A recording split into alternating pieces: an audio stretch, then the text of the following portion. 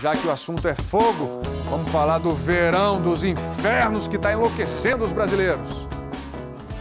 Pesquisadores americanos anunciaram esta semana: 2014 foi o ano mais quente já registrado. E pelo jeito vai ser superado, porque 2015 já começou com um maçarico ligado. As regiões sul, sudeste e centro-oeste do Brasil, por exemplo, estão registrando calor acima da média. E o Rio de Janeiro, que é a capital mais quente do país? Difícil ficar fora do ar-condicionado. Diria impossível. É verdade, né? o problema é a conta de luz, que pode aumentar em até 40% este ano. E aí, vai fazer o quê? Quer participar? Entre no nosso site e escolha a carinha que melhor representa como você está se sentindo com esse calorão. As mais votadas vão aparecer na reportagem que a gente vai ver agora.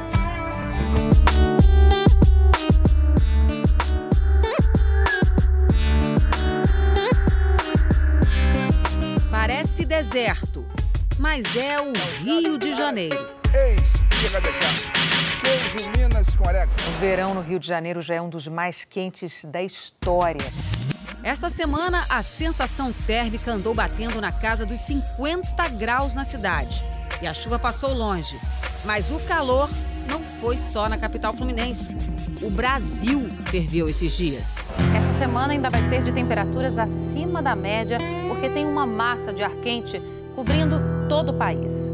Nem de manhã refresca, olha só. Vamos refrescar. Não teve roupa, banho ou ventilador que dessem conta. A dona de casa Márcia Oliveira, que sempre gostou de passar os dias quentes na praia, esta semana trocou o mar pelo ar-condicionado no shopping. A gente vem dar um pulinho no shopping para aproveitar o frescor. Não foi só ela que teve essa ideia. E a tão famosa Praia de Paulista virou o programa preferido no Brasil todo lugar para sair hoje em dia, conforto e ar-condicionado. É prioridade nesse calorão. Tem gente que vem mesmo só para sentar no banquinho e ficar aqui no, no fresquinho. Sair daqui só quando fechar.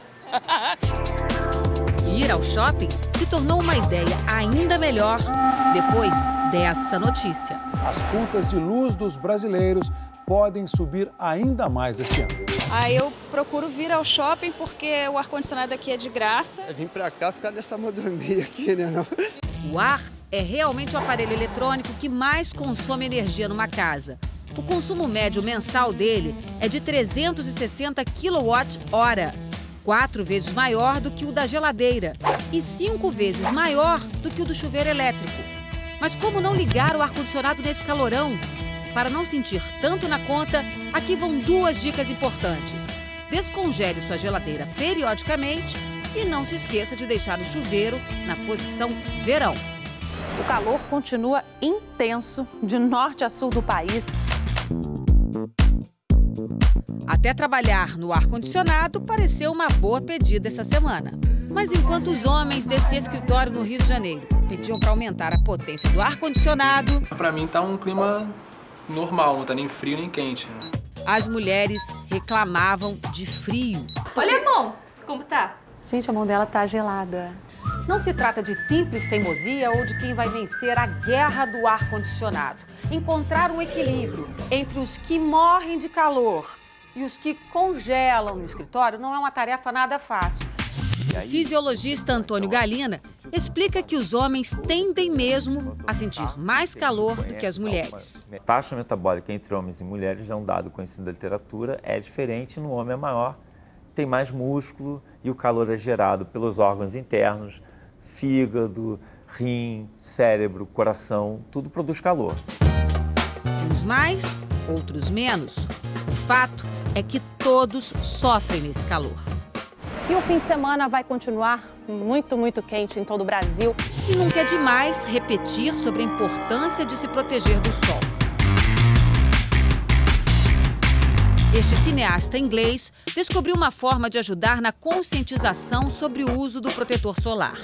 Ele adaptou sua câmera para captar os danos mais profundos do sol no rosto.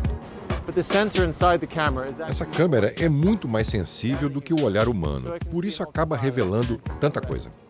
As imagens mostram a situação real da pele. Dá para ver como crianças e bebês ainda não têm a pele manchada. Fomos até a praia de Copacabana fazer um teste com a câmera especial. Na imagem, quanto mais escuro, mais protegido. Quando sua pele fica preta numa câmera dessas, isso significa que ela está protegida. Você estava com um protetor solar? Então, eu passei isso aqui só nas costas e no, no ombro, um pouco no rosto. No peito eu esqueci de passar.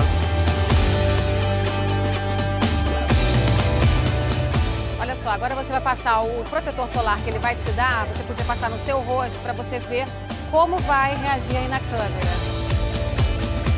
Tá bem escuro, tá preto agora. Você viu a diferença? Que tal? Nossa, fica outra coisa, né?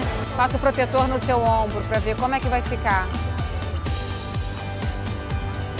Você viu a diferença da cor?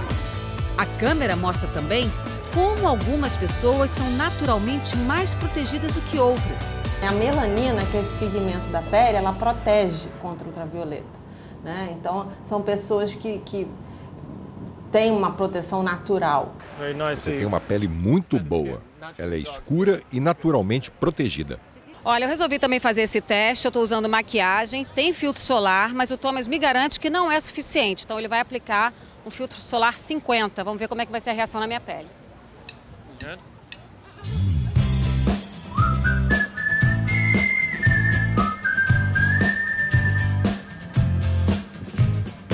Agora que eu estou devidamente protegida, vou repassar o microfone para o nosso Maurício Cubrusli, porque o Me Leva Brasil está aqui no Rio de Janeiro para uma missão. O microfone é seu. O microfone é meu.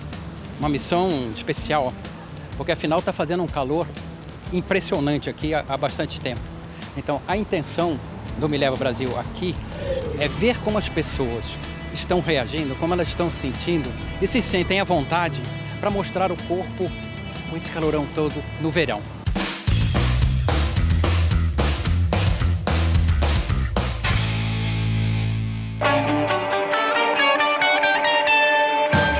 Satisfeita com você, seu corpo? Ah, não, né? Por quê? Peraí, mulher chega aqui, vem cá, vem cá, vem cá. Põe aqui o corpo. Tô olhando. Você acha que tem muito defeito? Não, pra mim não. Pra mim tá ótimo. Então vamos à fita médica, ela diz a verdade. Não vale encolher, hein? 100, tá bom, né? Tá bacana. Põe mais aqui em cima, que é menor.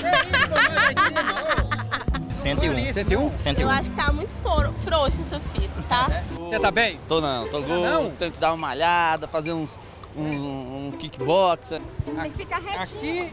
Ah, tem que ficar retinho. assim. Tem uma filha de 15 anos, linda, mais alta do que eu. E Ana Clara, fala pra ela, Ana Clara, tá com o pai aqui no Rio. Ana Clara, mamãe te ama. Olha o mico. Não foram só os cariocas que pagaram o mico. O Me Leva Brasil foi investigar também como está o corpo do pessoal de Florianópolis neste verão. Indispensável, uma balança. O que que tem? Eu tenho dois pesos. Você tem dois pesos? É, o que tá na minha mente que eu quero e o peso normal. Me diz baixinho, quanto ela pesa? Ai, acho que é uns 69. Acertou, 76, 77. Foi o que eu falei pra ela. É. Você errou? Eu errei. Errou? Quanto você pôs?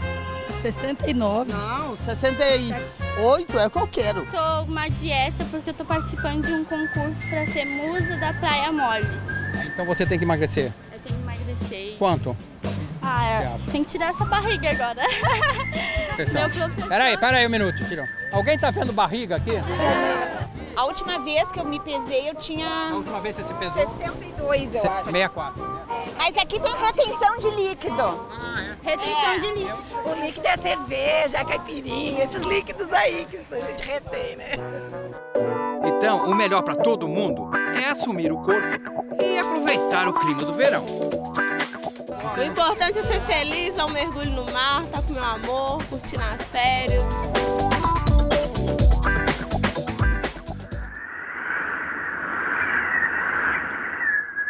Esfirra de carne.